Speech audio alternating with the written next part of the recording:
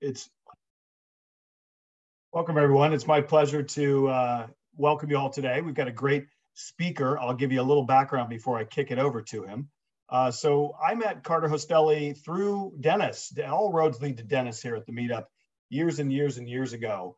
Um, and by way of introduction, on his LinkedIn page, Carter makes social media work for B2B marketers. He's the CEO and, and grand poobah there at Leadtail. If you read his Leadtail bio, it says Carter's a recovering venture backed CEO and CFO who discovered that marketers were having all the fun. Asked to hear one of his rants, and we've heard some rants on the meetup before. I don't know if we're going to get a, a rant today, but his top five strengths, you'll love this, Carter strategic, learner, analytic, and then a series of question marks. So, without further ado, today, talking to us about how to rethink our B2B marketing in 2023, Carter Hostelley. Thank you so much, Rich. And uh, I sort of crafted this deck knowing that many folks are content marketers, but I think some of the insights we pull can be uh, more more broadly around um, B2B marketing as a whole. And and really the, you know, the first question to get our heads around is, you know, what is the holy grail of B2B marketing? And any any grizzled B2B marketing veteran will tell you it's getting into the magic quadrant for Gartner, into the leaders bucket. And, and that means that everyone is going to be copying your best practices for years to come because it's all about the Gartner Magic Quadrant and the best practices that the outline that the leaders are doing. So all of us, you know, will figure that out and follow follow the leader. But the truth is, you, you really can't win doing today's best practices. And, and I know I work with, and my agency works with a, a number of venture-backed startup companies.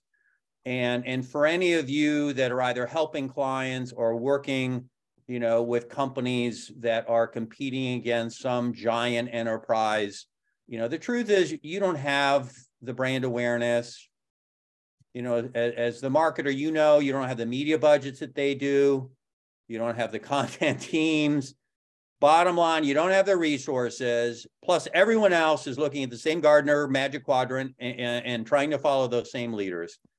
Um, so the key thing to really understand is is you can't win doing today's best practices and i and i actually call today's best practices sort of the dusty best practices that by the time all of them know us know them they've they've been out there for five six seven eight years now so so that's the first thing to understand is you've got to come at it a different way because best practices are not going to get you where you want to be. And so that begs the question, which is, well, what should you do? Now, in some ways, this answer is obvious, and in some ways, it tends to be pretty opaque, hence the magic eight ball.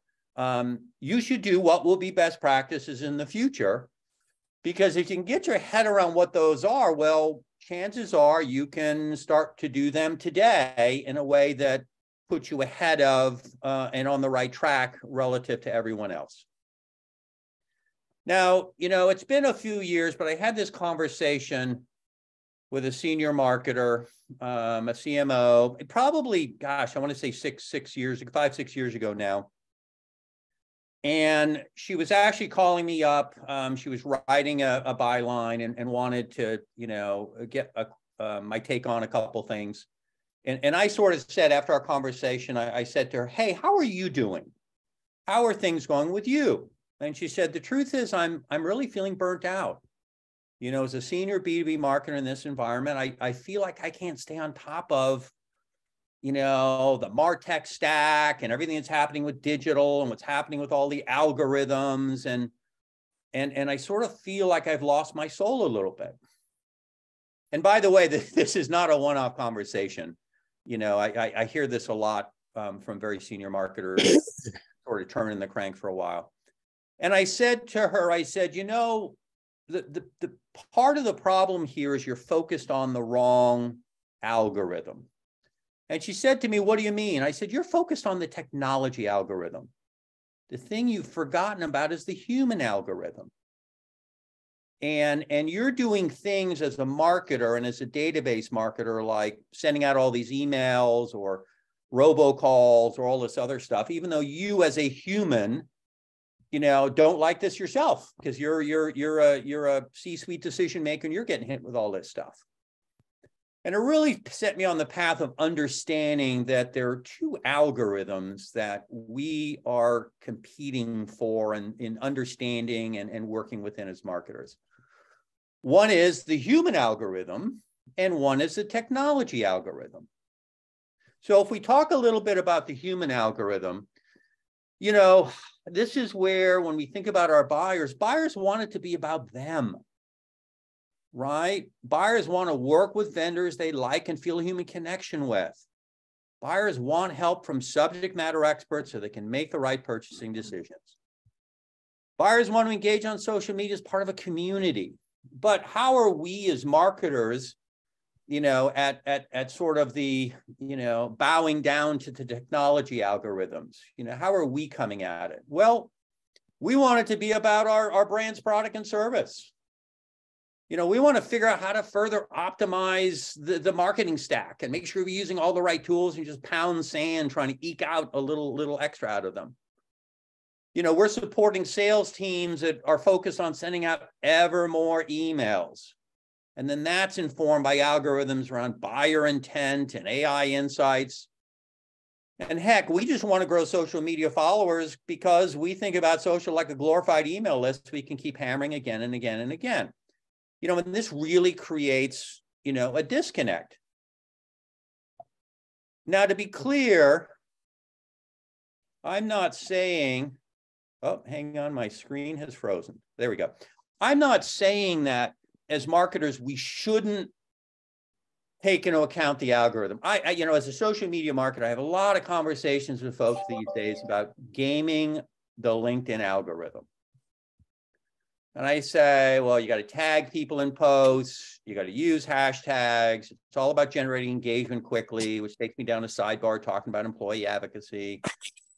You got to think about dwell time. So, you know, let's create these long mini blog posts. Let's do video, right? You, you got to get people to comment. So when you're doing polls, make sure option number four is always other and ask them to comment below you know, my pet peeve is people like now to do posts without links because the platforms don't want to send you off platform, but it just creates a terrible user experience. But so what? I'm trying to make the algorithm work.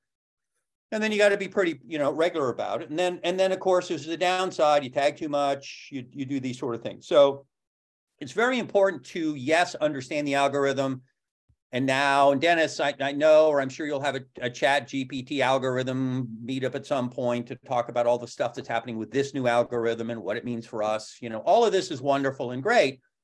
But we as marketers, um, you know, we forget that our buyers, you know, want to work with brands that they, you know, they like and feel a human connection with.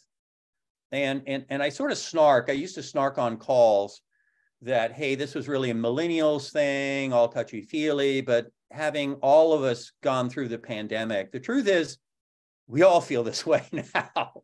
We all want to work with brands that we like and feel a human connection with, right? And and this is really a struggle for marketers when they they truthfully are pretty obsessed around all the different type of algorithms that that make them do things that and, and often are very counter to what buyers care about and, and and and counter to the human aspects of things and and the secret or the answer around this is just humanize our marketing efforts you know i show this um, um, we were the social agency for for bill.com for years and years and years. And and one of the things we really pushed with them was to you know push all the wonderful baby and brand swag stuff. And it's it's funny because we'll have a client that does a post uh, baby and brand swag or some equivalent.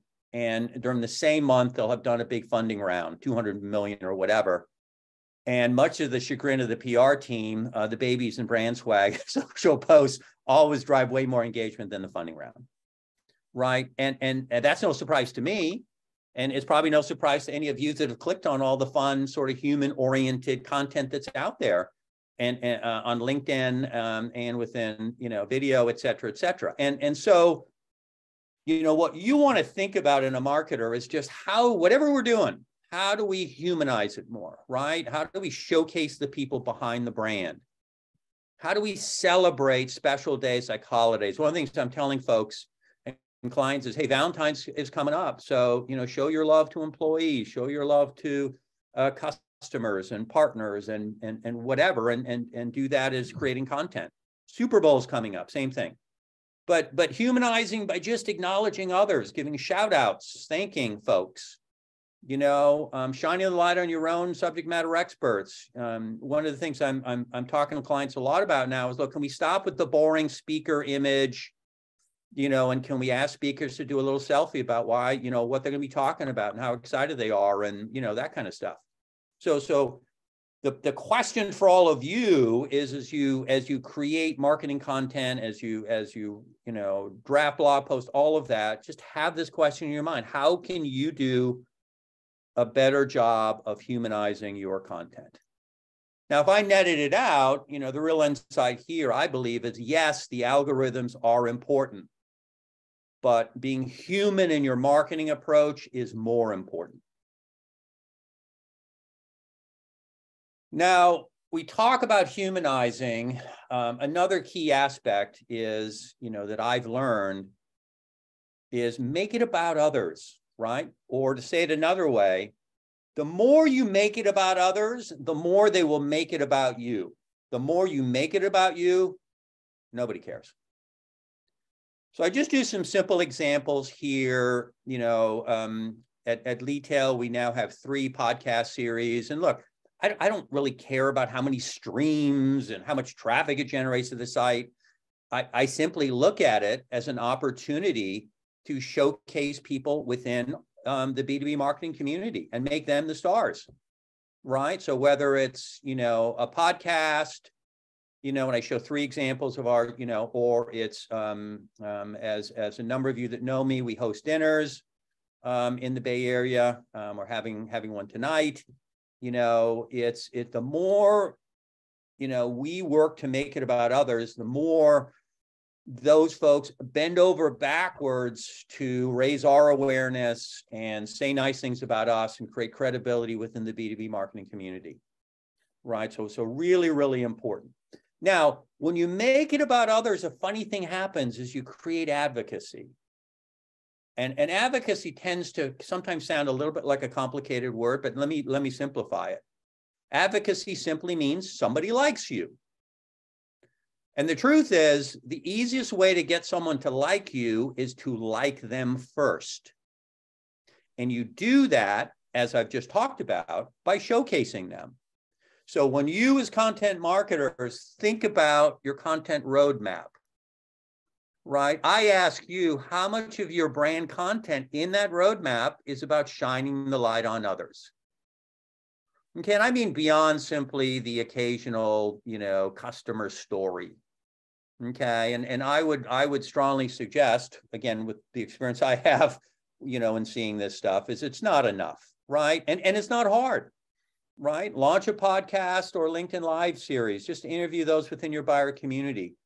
You know, encourage guest posts from other subject matter experts for your blog. Invite invite target contacts to present in a webinar series, attend your VIP events, right? You know, sometimes folks say to me on social, hey, we can never get our customers to, to share our stuff. Well, I, I, I ask them a simple question back. Well, how much are you sharing your customer news on, on your feeds?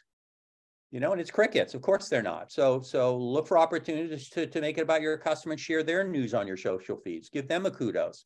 Give them a shout out right? But it's really about creating advocacy. And sometimes what I hear too is advocacy is post sale. And, and that's why, you know, we need more customers or it's hard to get customers to advocate.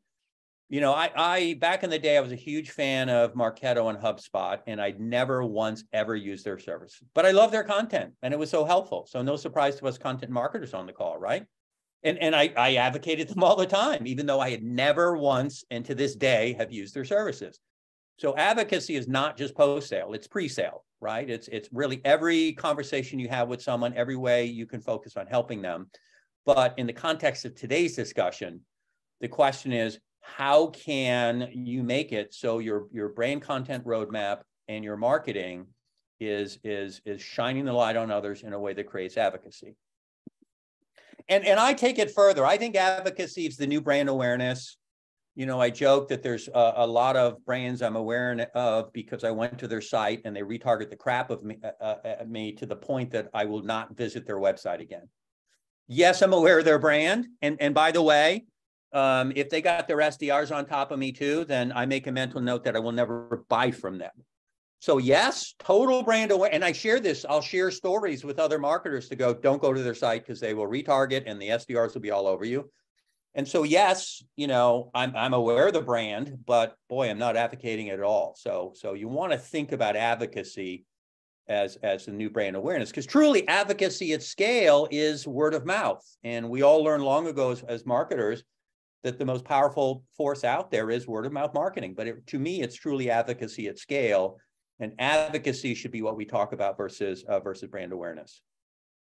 Now, the other interesting aspect of advocacy is it builds community because advocates spread the word, as I just mentioned, about your brand in a, in, in a way that's very trusted and credible to your buyers.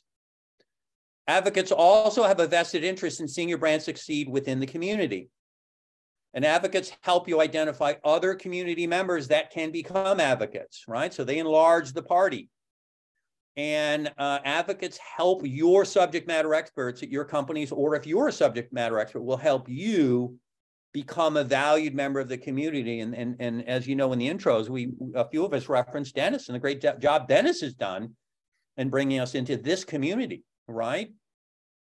Now, I'm talking about community for a second, but I, I don't want to take for granted that that you know whether or not folks understand the importance of community, right? Um, the the power of community is it has a shared purpose. It's it's a it's an entity upon which community members trust on rely and rely on each other for sharing valuable information. And then, of course, what we care about as sellers is and recommendations like vendors they should try, right? Or vendors they should use. And the truth is, communities are the power behind, you know, many of the top B2B brands that we today really, really take for granted, right? Whether they're marketing brands or whether technology brands, or of course, you know, uh, the content marketing meetup itself. Without community, I believe um, this is what you experience. This is an actual quote from a director of growth uh, um, from a conversation I had less than two weeks ago. This is what that director said to me. She said, they downloaded a white paper, then I emailed them seven times over the last 30 days, no response. There's got to be a better way. And, and I suspect a lot of sales teams are feeling this way. Uh, I sure see how many emails I get from vendors. Um, and in this type of market, it's not what you want to, you know, be, be trying to use these sort of tactics. Um, you know, you, you sort of hoped you had a community to tap into to begin with, but this is really the power of community. And, and even when I talk to folks about social media, which is my particular domain, it's amazing to me how folks are still very focused on follower count. Okay. And that's just an optics thing. Do we have more followers than our competitors do and all of this? And I have to explain to them that if none of these followers have engaged with one of your LinkedIn posts, for example, in the last, you know, 30 to 60 days, it's as if they're not following you, they're not going to see your stuff. So we got to switch from thinking audience and followers to community because community is truly an asset and it's the power that sits behind some of those brands that we've already talked about. And, and it's not hard to signal community. Share the content of others. Thanks, folks, for sharing the brand content. Respond about comments and questions. You know, start to ask questions and poll. Show conversation is two way, right? And and by the way, it's going to drive your social uh, performance. You're going to see a lot more engagement. This is another thing that drives me batty, and usually this is when I'm talking to the PR teams, and I'll, I'll sort of be upfront here and tell you that nobody is biting at this but all the PR teams out there um, are, are really trying to push the executives to, to do thought leadership. You know, they're all tasking us as content marketers to write more thought leadership. And, and I always try to say, look, you know, it's like all these executives in particular are trying to be the smartest person in the room. But on the other hand, we all know what it's like to be around someone that's trying to be the smartest person in the room, right? And instead, we want to think about hey, how can someone be positioned as a valued member of the community?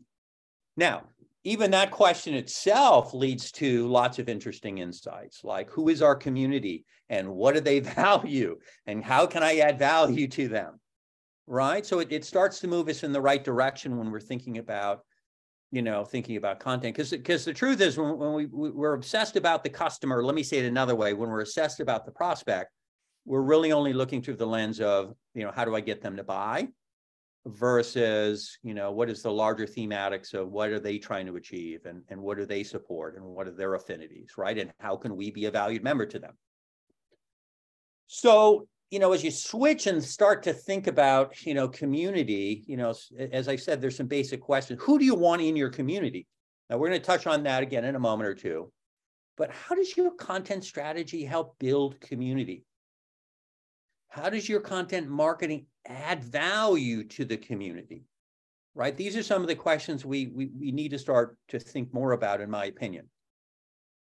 Because when you boil it all down, I really believe, and, and some of this belief comes from, I will tell you, I'm biased. You know, we've had a number of clients that, you know, are in the open source space and just seen the power of, you know, having the developer relations, for example, focused on supporting the community, how that turns into very, very powerful marketing and brand awareness and advocacy, which is everything we're talking about today. So I just bear hug it and, and say the future B2B marketing is community because I am literally sick of how many lead gen calls I get, how many SDR calls. You know, um, we're all probably at the point where none of us answer the phone if we don't recognize the number showing. And yet that's so counter to when someone from the community reaches out and needs help. It's the first email I follow up with. I make the time, I do everything I can, like Dennis inviting me and Rich inviting me to speak today.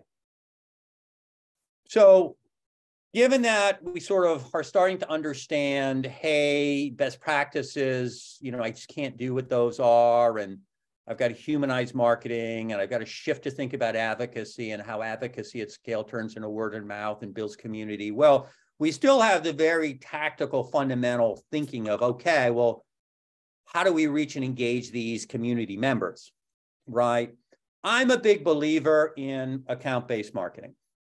I i believe it really helps you align on who exactly you want to be you know have in your community. It doesn't mean that I'm, I'm i'm against inbound but but most of the clients we deal with you know they're not selling something for 50 bucks a month um, and and they're they're doing a lot of this account based marketing stuff. Um, and and and also, I'm a big believer that social media research helps you discover where this community this community that you're targeting already exists. It's kind of funny to me.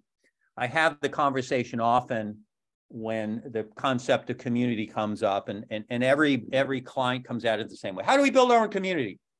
You know, how do we build a community? I'm like, well, you know, the community most likely already exists somewhere. So maybe the question is where, where first is the community now happening?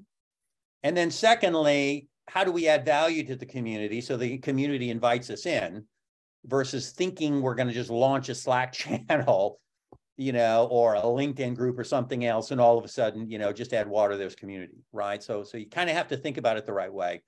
Um, so, you know, the, the other thing that ties into this is I, I really believe that the notion of the content funnel is is very outdated you know top mid bottom. I get it you know I, I really understand it really well. But i think we want to switch it up to be more from the you know the community or the buyer's perspective right?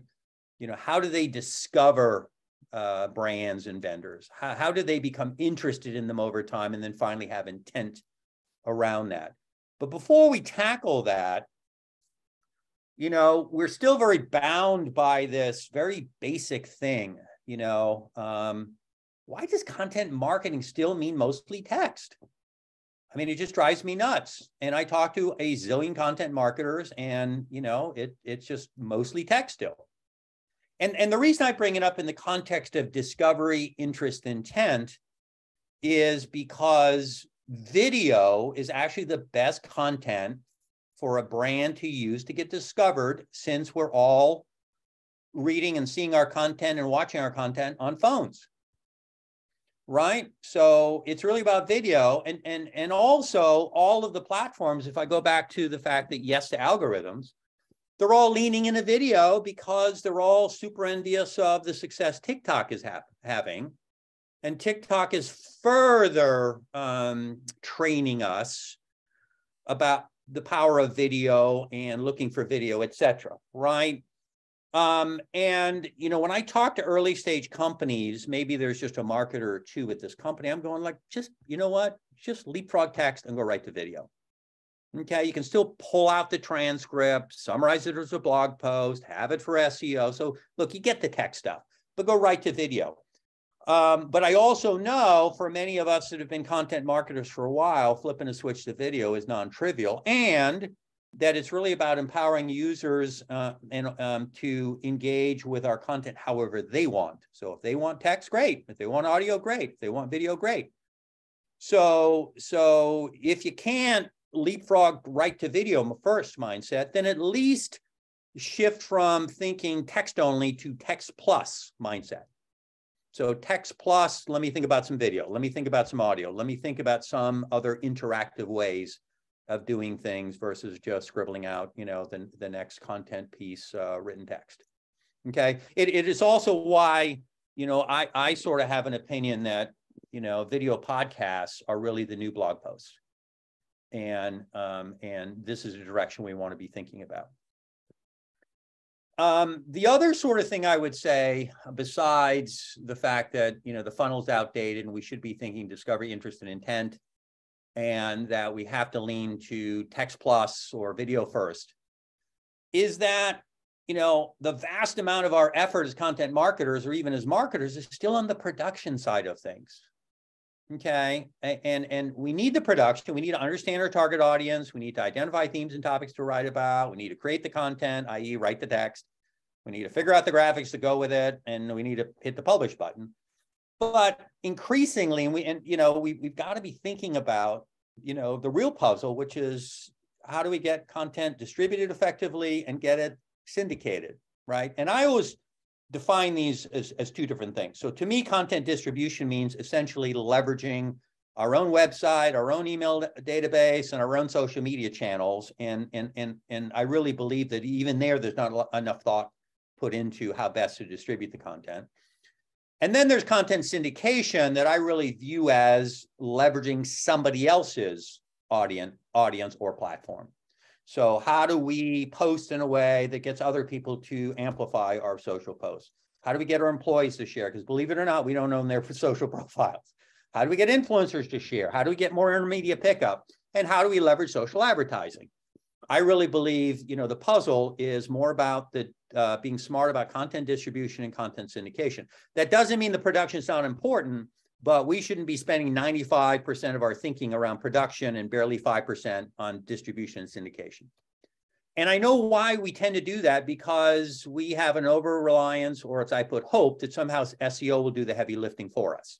So we create great content, lots of keywords, index. We don't have to worry about this content distribution syndication stuff. Okay. And I would argue that that's wrong right? And, and I would argue, and this is Rand Fishkin quote, you know, I would argue that it's not only your big competitors, again, who have more content, more brand awareness, more whatever, you know, uh, page rank, um, but you're also competing against Google, right? And and and it's really hard to win this battle in any meaningful way to really really feed the sales teams. So from that, I, I came to believe that really social advertising is the new SEO. Okay, when you think about SEO, it's hard to get on page one. You never get enough leads, unpredictable lead flow. Many of my leads are not high quality. Okay, it, it, it creates this hamster wheel of more and more content. Okay, we can't directly leverage for demand gen. For social ads, we can control a lot of these variables. We can test, we can focus on anchor pieces. And, and I'm not saying SEO doesn't matter. I'm just saying, hey, can we shift some of the thought and energy from SEO over to how to better leverage distribution and syndication, and in this specific example, social ads. And when you start to put it all together, and I'll send the deck over, maybe the slide will be helpful, but you know, you start to go, okay, let me put these pieces together. Okay, let me think about the stages, discovery, interest, and intent. And let me think about what would be the best type of content at each stage on the different social platforms. And then let me look at it in the context also of social advertising, right? That the audiences I'm going to create, how I use retargeting and, and, and how I should judge whether or not it's performing well and, and, and how we'll generate leads. So you can start to put these different concepts together in a way that leads to different strategies and best practices than arguably what I see being done today. And I'm going to just end with my view of the world. Um, um, and this is just how I look at things. I, I, really think that we need to move from this funnel view to how many MQLs to, you know, the debate with the sales team about how do we get more leads? We need more leads to really having something pick up the concepts we talked about today. Okay, if I know ABM, the strategic accounts, the top target accounts, and I know who I want to be in the community, and I focus my efforts around the content roadmap and social, et cetera, on driving advocacy within this community, it'll turn into deal flow.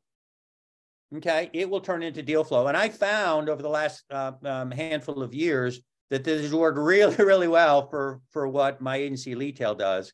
You know, we're a seven figure agency and we've never had, nor will we ever have a salesperson. And we focus on building community and advocacy. And I tell you, every week leads come in. And, and I don't think this is just an agency thing. I think this can be very, very scalable. Plus, it prompts the right questions and goals. So if my questions are around, well, who should be in the community and how do we add value? Those are great questions for marketers to be tackling. And if my goal is to increase the size of the community, and increase advocacy in the community, boy, that sure feels like it's a much more fulfilling to be the marketer trying to do that uh, versus the marketer feeling really frustrated because they can't generate enough leads for the sales team and all they're doing is trying to figure out Martech stacks and all this other crap that burns them out. Because it feels good to be thinking about how do I grow the community? And it feels good to be thinking about how do I make it about others, make it human, and drive advocacy? And, and, and I have seen again and again and again, every year I see it, it drives in wonderful deal flow um, with a much shorter sales cycle too, because you've been recommended in. It just makes it a lot easier. Now, with that, I will um, end with this one last sort of insight. Whether you agree with me on any of this or not, the fundamental thing is you're going to become a better marketer by focusing on where things are going, figuring out for yourself, you know, then how you can take advantage of that and build it into your own best practices today that reflect that. And you're going to be much more successful doing that versus trying to regurgitate the same best practices everyone else is doing. I will now open it up for uh, any questions, comments, uh, folks that want to uh, counter my opinions. I welcome it all. Well, very good, Carter. Thank you so much. There's been a lively uh, chat going, and I've asked for some questions there. I also queued up one of my own as kind of a give people a chance. If you don't want to chat, you can also raise your hand on Zoom. Dennis and I are call on you. My question is actually a question that was the first one in the chat, and this is around measurement. Now, I'm mm-hmm. increasingly focused in my role to measure the performance of the content we publish. Not just is it achieving our business objectives, but more importantly, is it meeting the informational needs of the audience? Like, are we serving them something they value? question in the chat is from uh, Priyanka. What are some KPIs, some key performance indicators, to keep in mind while advocating for another person or brand? Well, you know, I think it, I think basically you want to shift from, and this will seem a little counterintuitive because we were talking about community a moment ago, which feels like it's a, it's a big group, is you want to have KPIs that are starting to shift from the notion of how many to who. Okay, so all of the KPIs you now use, you know, time on site, how many visits to the page, how many leads generate, you know, all that's great. But, you know, when you start to, and, and some of this is going to tie in ABM, when you start to say, hey, here are specifically the people I want to reach and engage. And did I do that or not? Or how many did I reach and engage? then then the argument in getting more people is going to be easy. And I and I see this on the social side. Like I'll talk about engagements and all of that, and the CMO or the CEO will sort of roll their eyes. But then I show them some of the people in particular that followed the page, mm-hmm. or that uh, that liked it, or that whatever, and they go, "Oh, do our salespeople know this person just started following the page? Or, oh, that's exactly the type of folks we want sharing, engaging with. It's a whole different conversation. So it's it's less quantity, more quality. It's um, about the who, right? right and and it's counterintuitive because you know one of my themes last year is what's old is new again. Yeah. And and I believe that social, we have to stop thinking about one to many and increasingly start thinking about one to one and one to few. Okay. Okay. So it more... really is about the who. Okay, thanks, Carter. I've got a couple more questions here going in sequence from the chat. This is from Melissa. What do you think about dark social? There are recommendations happening in online communities that don't have proper tracking, right? Tying into metrics here, such as Facebook, Slack, Discord, Reddit groups. I know I've tried some of the business products recommended by other business owners in these communities. So dark social, Carter, how's that play? Well, I, I think a couple of things. So obviously, um, dark social is a, a measurement and arguably an attribution problem. But and, and it'll always be there. And part of this is because you know Google doesn't want to show you anymore, right? Because back in the day they used to. Um, I, I, really flip it around and say, you know, if you're focusing more, most well, I, I would take it two ways. So number one, you can see, especially on social, who likes your stuff, who retweets your stuff, who is looking at your profile, etc. So there's plenty you can see from which you can then build an argument around to say others are doing this. The other thing is, and, I, and I'm really amazed, I was talking on a, a client call earlier today, and this is a, a pretty sophisticated RevOps company, and they're not even doing UTM tracking. They're not even doing any of the back end stuff. And I often talk to uh, clients where the salespeople aren't even asking, hey, how'd you hear about us when you jumped in, when someone signed up via the book a demo or contact us? And by the way, that's the first question I always ask. How did you hear about Leadtail? Yeah right? so you're going to get information around the rings that you can do a hypothesis. I don't think we will solve. Now, now someone else on the call may have a different opinion. I, I think dark social will always be a thing. Mm-hmm. Um, but it's it's really about what are the indicators you see from how folks are engaging all the way through to, you know, making sure the salespeople are asking the question and logging it in Salesforce. How did someone hear about us? Yeah. Yeah, thanks, Carter. Two two comments and then more questions. One, it's what we try to do on the meetup. How'd you hear about the meetup? And it's exactly Dennis. That's exactly um, right. Two, two. As a fanboy of Rand's, you know he's no longer with Moz, but I think some of you are familiar with SparkToro. If you're not, look in the chat link. Great audience research getting at the who. Who are you trying to reach? Where are they? How might you reach them in unconventional ways? And trying to get them on the meetup as well. Amanda's super smart. A couple more questions here from Priyanka. Um, question, what are some boundaries you could set as an advocate for a person brand? Priyanka, I might need a little more color on that. Boundaries, um, uh, maybe Carter, you have an answer, but I'm not certain. What did you mean, Priyanka, by boundaries? Hi, Rich. Uh, by bound, by thank you for taking my question, and uh, thank you for uh, Carter for doing this uh, presentation. By boundary, I meant um, uh, basically uh, you don't want to come across i mean uh, you want to help the uh, brand or the person but uh, you also uh, don't want to come across as uh, as uh, being pushy or being yeah, very, yeah. so yeah, that no, it, kind of balanced i think kind of like trying to be helpful to the brand but not coming across as too pushy or spammy or you know that's yes. yeah. So so I'm going to make two comments on this. So so number one, it has to be authentic. Okay, because because we all if if someone is trying to upsell us and they're telling us because it's trying to help they, they care about us want to help us, you know, it's I mean it's it's just so it's it's painfully obvious they're not being authentic. So you got to be authentic. And number two, what makes it easier to be authentic, uh, you know, I, I, am a former startup VP of sales. I deal with salespeople a lot. It, it always drives me nuts. Uh, the salespeople are always trying to close the person on the phone versus turn the person on the phone into an advocate upon which that person unlocks the rest of their network. Mm-hmm.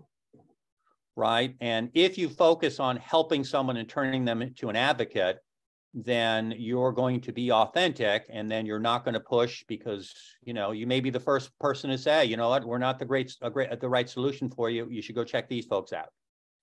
Okay? So so that's really that that's really the key. And the mindset as a salesperson or even as a marketer is to realize if i turn the person i'm talking to on the phone into an advocate i may get their sale and i'm going to own the mind share eh, of whenever anyone in their network asks them what vendor I should talk to, they're, they're going to point in my way.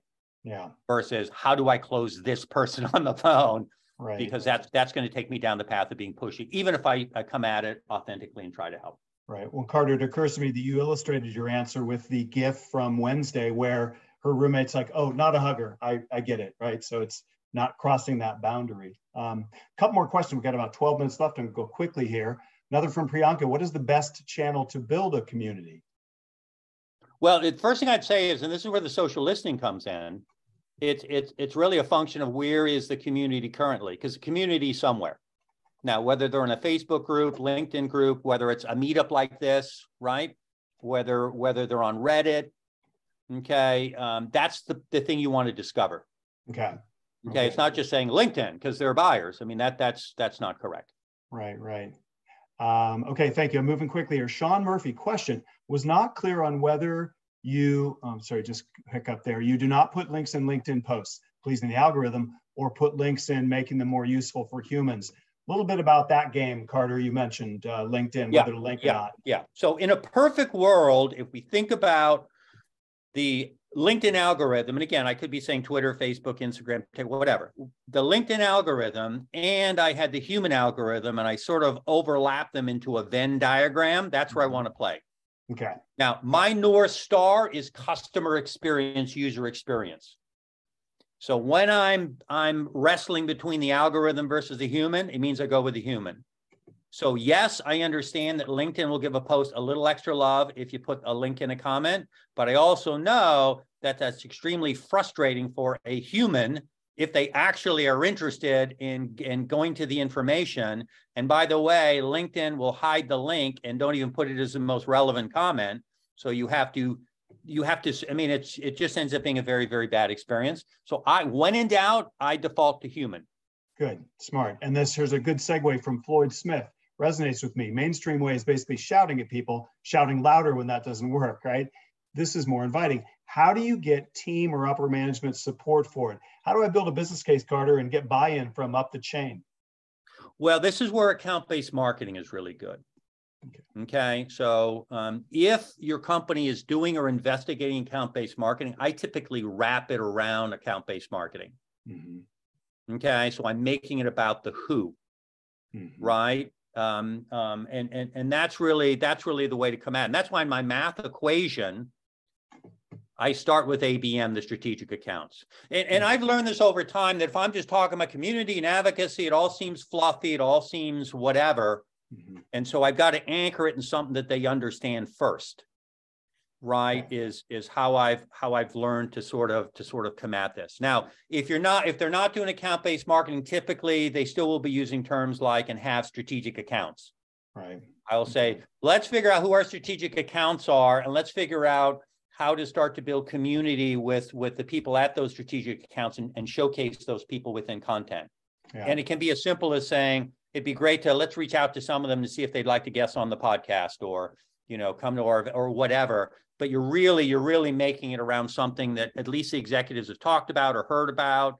It's being pushed you know versus versus trying to just do the fluffy community thing which i guarantee you will not get any traction in a meaningful yeah. way.